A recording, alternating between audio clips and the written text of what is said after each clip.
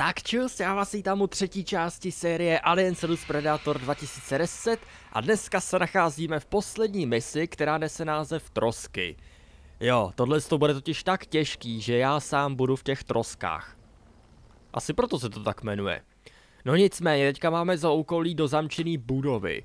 No, jako byl jsem na svobodě jenom chvilku od těch pout, ale ne tak úplně, protože tam furt byly nějaký oblasti, kde to bylo, kde to bylo prostě hlídaný, kde tam byl všude na každém rohu mariňák. A moc jsem si tu svobodu teda neužil, no. Tak jo, tady je koukám plno, plno těch androidů, takže už se rovnou do toho můžeme pustit. Tak pojď. Samozřejmě likvidace zabírají klasicky na androidy, což jsem si, eh, což jsem si poprvé říkal, že to je nějaká blbost, ne? No ale tak jako když to funguje. Jako to jo, ale já jsem se normálně divil, že, že on prostě má páteř a tohleto. Tak jsem se tomu trošku divil, no. Tak, tam máme další. Ježíš Maria, on se mi tam připlet. Ten blbej vědec tam. Ah, on mě odhodil. No, tak tohle to bylo dobrý. Ty bláho hraju ani ne pět minut a už mě zabili, ale tak jako je to Alien Rus Predator, jako tady je možný úplně všechno. Tak, vidíte, vidíte, já toto mám na normální obtížnost a zabil mě úplně zlehka. No jo, no. Kdybych si to měl dát na těžkou, tak to už bych asi neuhrál s těma životama. Tak. Kolik tady těch androidů celkem je? Pět? Deset? No, oni vlastně explodujou, no. Já jim vždycky musím ukousnout hlavu, aby neexplodovali. Tak. Tak pojď. Ah, on se vyhnul zase. Ne. Dobrý, dobrý, v pohodě, v pohodě. Tak. Sice, sice mě málem zase dostali. Hmm. Já si teďka vůbec nepamatuju, za jakým účelem do té budovy vůbec máme chodit, ale vím, že se tam musím dostat nějakou jinačí cestou, než normálně dveřma, protože dveřma to prostě nefunguje. Jo, přímo sem dolů tuším, pokud si, pokud si správně pamatuju. Se fakt nečekal, že on tam spadne. A sakra. Android s plamenometem, jo? To ani nevím. Ale jako jo, oni, oni mají všechny ty zbraně, myslím. Včetně teda ty smart guny. Čekat, čekat. Jako já bych ho kuchnu, ale vzhledem k tomu, že je to Android, tak je, tak je zase nějaká šance, že on se tomu vyhne. Tomu takedownu. A plus k tomu ještě nemám úplně dobitý životy, takže to je docela riskantní. Radši toho, na tohohle z toho takhle z vrchu. Já. Tak. Tenhle ten se tomu nevyhnul. Aspoň, že tak. Tak, to je ten s plamenometem. Tak, pojď. Jo. Tenhle už se nevyhnul. Dobrý. Jo, teďka teda k té budově, ale jak se tam vůbec jde? To už jsem tak nějak zapomněl. Jo, tamhle je ještě jeden, jo. Jakože já je, já je na dálku vidím, ale... Ne zase na nějakou úplně velikou dálku, to zase ne. No. A to se tahle, tahle mise jmenuje Trosky. Spíš oni jsou v troskách. Oběd. Tak. Hezky se v klidu najes, nenech se rušit. Dobře. A tadyhle máme toho dalšího, tak pojď. Uh.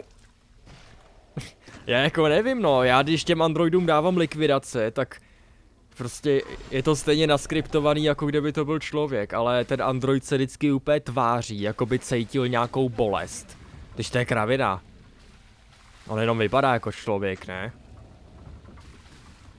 Počkat, počkat, počkat. Tady vím, že jsou nějaký dvě našláplý desky, se kterými budu muset manipulovat, když budu chtít já do té budovy, pokud vím. Takže co se stane, když já si na ní stoupnu, koukám, že nic, tak asi musí být obě dvě, co? Jakoby aktivovaný, nebo já nevím, jak to říct. No, aktivovaný, no. Ale vím, že jsem používal hlavně tady ty průlezy. Takže počkat. No, vím, že jeden ten průlez má právě jít do té budovy, ale já si teď přesně nepamatuju, který z nich to je. Jakože jo, dohrál jsem tuhle tu hru, ale nemůžu si pamatovat přece úplně všechno. Tak, tenhle ten to evidentně nebyl. Já si myslím, že to byl tenhle ten průles. Jenomže ono se nic nestane, když já na té desce stojím. No, a rychle teďka půjdeme zapnout ten druhý, jestli to třeba má nějaký vliv takhle. Do nějakého určitého času.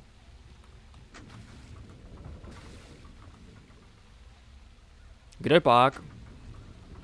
Nic, žádný tým říže se neotevřeli, no tak já nevím teďka. Tak to nejspíš bude vrchem. Vidíte, tohle je ta budova, ale tady prostě nikde žádný dveře nejsou.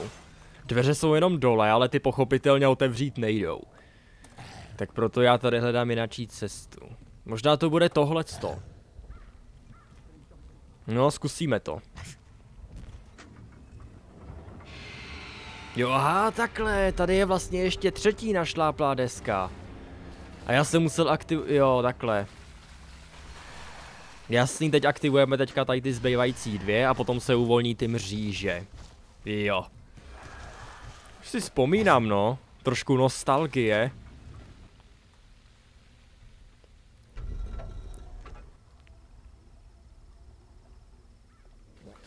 Jo, dobrý, akorát se uvolnili ty mříže na druhé straně, takže jdeme semka. Ono jako u toho aliena je asi nejlepší to, že může, že prostě běhá takhle rychle, jo. Likvidačky jsou fajn, i za Predátora se mi docela líbí. Ale ten Predátor už se v tom víc jakoby vyžívá, no, což... Což je jako moc úchylný, bych řekl. Prostě jako páteř a ještě si tu páteř pohladí. Tak a to jako není úchylný, ale jako je to Predátor, no. Co k tomu dodávat?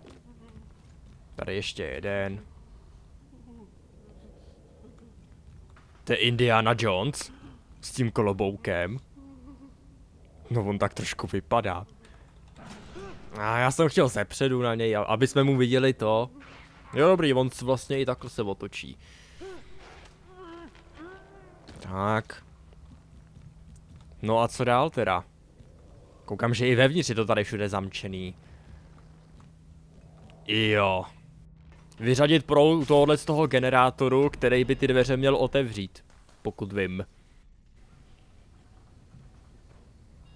Jasně.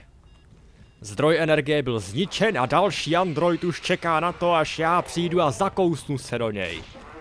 Tak. Tohle to bude ta oblast. Jasný.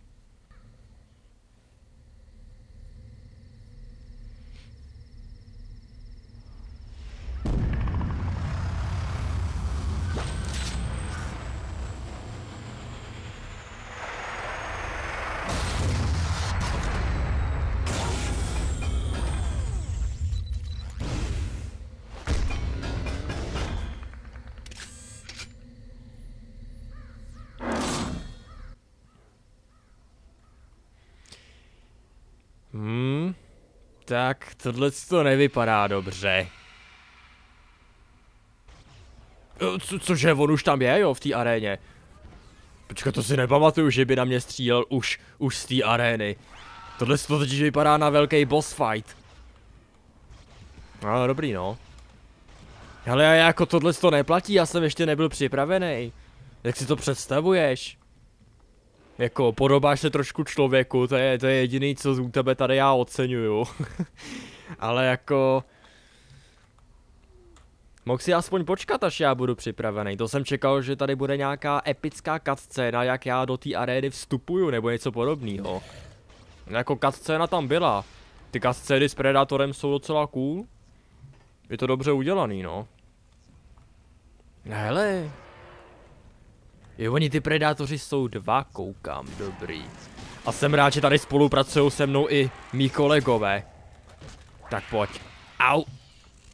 No, tohle to bude hodně silný voříšek bojovat proti predátorovi, ale měl bych to zvládnout.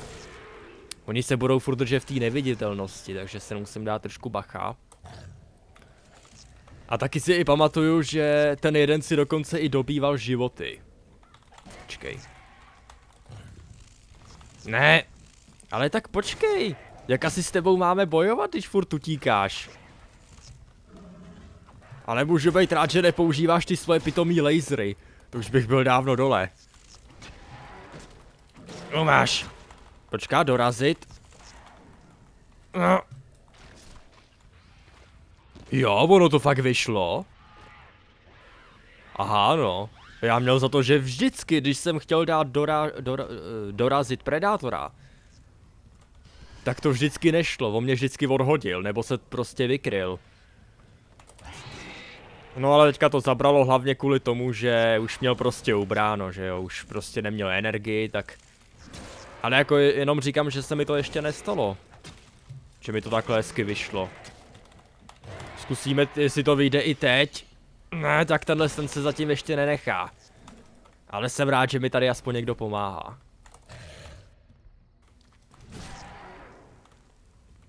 Protože řekněte mi, uh, v který jiný hře vám při boss fightu někdo pomáhá? No, takový her je hodně málo, kde tam máte nějaký společníky. A! Ah! Jako já neříkám, že mi, že mi pomáhají nějak extra, jo. Máme ho.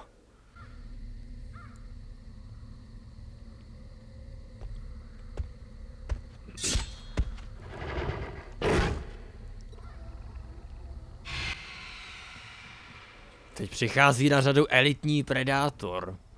No, poprvé jsem si říkal, jaký je vlastně rozdíl mezi, mezi elitním a tím klasickým.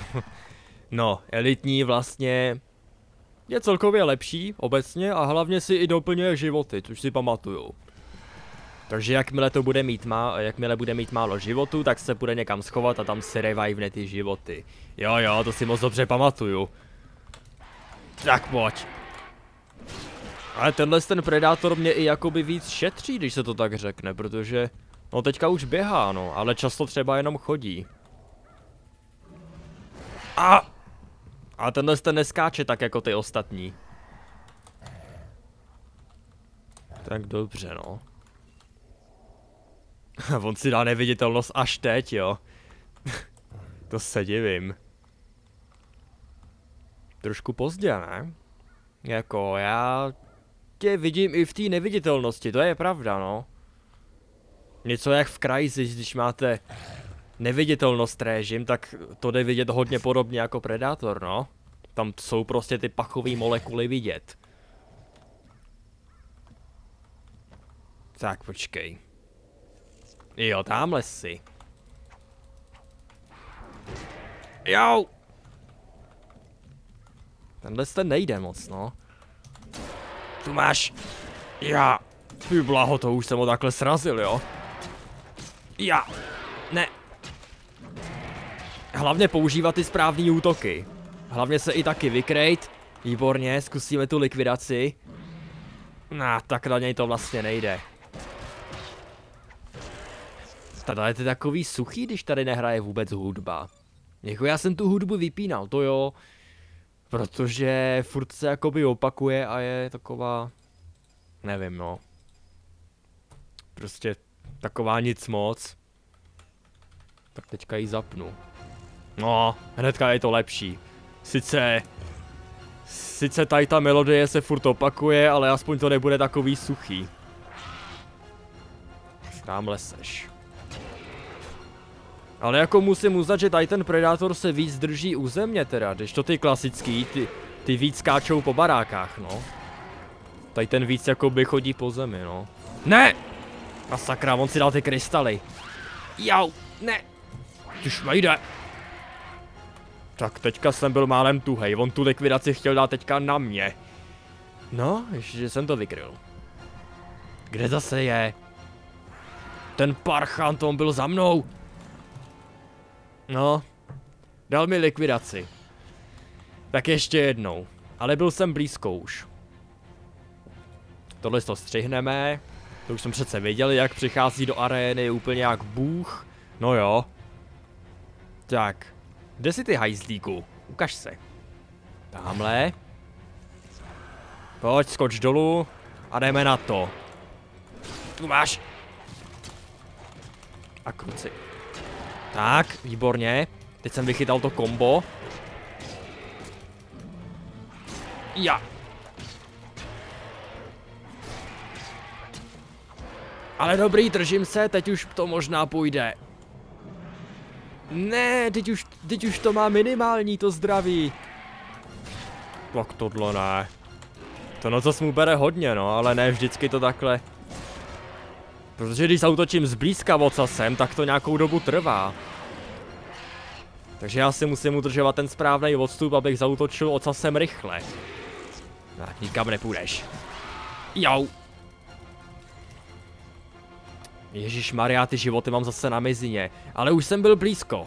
Už jsem byl hodně blízko. Prostě nahoře to není tak velký jako tady. Tak, teď už. No tak.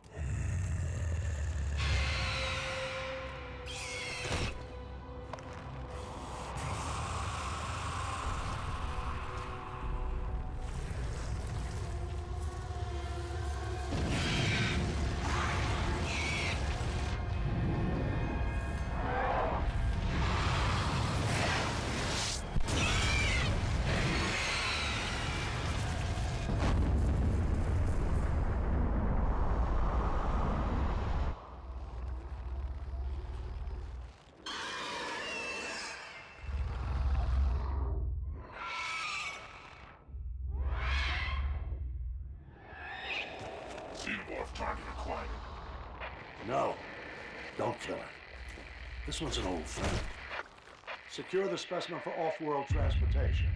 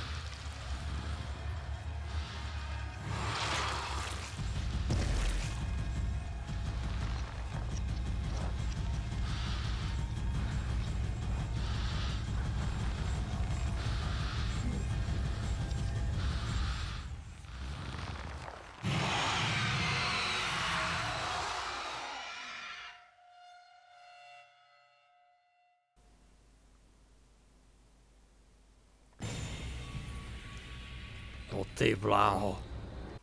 No, tak tahle ta cutscéna, to teda bylo něco. Jako, viděli jste sami, že z elitního predátora bude Predalien, protože se tam objevil facehugger a dál už jste to viděli sami, takže jo, Predalien se blíží. A jestli Predalien bude v této hře, to nechci spoilerovat, pokud se to ještě nevěděli. Možná jo, možná ne, zatím žádný spoilery. No a jde zkrátka o to, že když tam přišli ty androidi, tak toho aliena, za kterýho jsme teď hráli, tak toho chtěli zabít, ale někdo jim nařídil, ať mě nechaj. A tak mě chtěli znova spoutat a chtěli mě víc vycvičit, protože oni se dozvěděli, že já jsem dokázal zabít spoustu mariňáků uh, a hlavně tři predátory, tak proto ze mě chtěli udělat něco lepšího. Nebo chtěli, abych byl silnější celkově. No jenom, že to se jim nepodařilo, zase jsem se nějak uvolnil z těch pout, pravděpodobně zase spadla elektrika, nebo no, možná zase vypadnul ten proud jako na začátku a tím pádem se uvolnil z těch pout a všechny je tam sežrali, tak je to možný.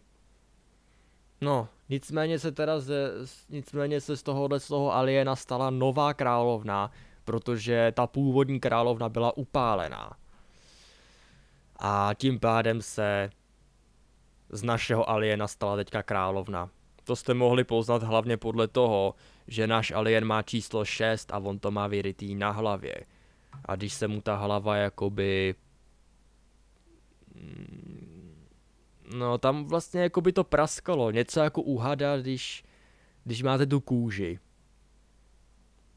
Tak vlastně to jakoby praskalo a celkově je z ní královna. No, to si domyslíte sami to, co chci já teď říct. Ale musím uznat, že to uteklo docela rychle teda. Uh, protože vlastně sotva jsem začal natáčet tuhle sérii a už mám jeden charakter dohranej. Takže docela to uteklo. Aliení my si máme za sebou, nic už tam není, nic už nám tam nenabízí a další kampaně zbývají Mariňák a Predátor. Příště se podíváme na toho Mariňáka a jako poslední přijde Predátor. Jasně, pro spoustu lidí to nejlepší nakonec. Až na to, že když si někdo tuhle tu hru koupí, tak jako první si zahraje za Predátora, protože ten ho nejvíc za, zaujme. A nebudu lhát, já to měl taky tak. Já jsem taky musel kliknout na toho Predátora, protože mě prostě zajímaly ty možnosti a tohleto, protože on je vlastně nejsilnější. Ale dobrý. Každopádně tohle by teda bylo pro dnešní video všechno. Jako vždycky díky moc, že jste koukali. Vážím si toho, že sledujete tuhle sérii se mnou a jsem za to rád. Nezapomeňte dát like, napište nějaký komentář. Takže já vám děkuji za pozornost. Mějte se a čau.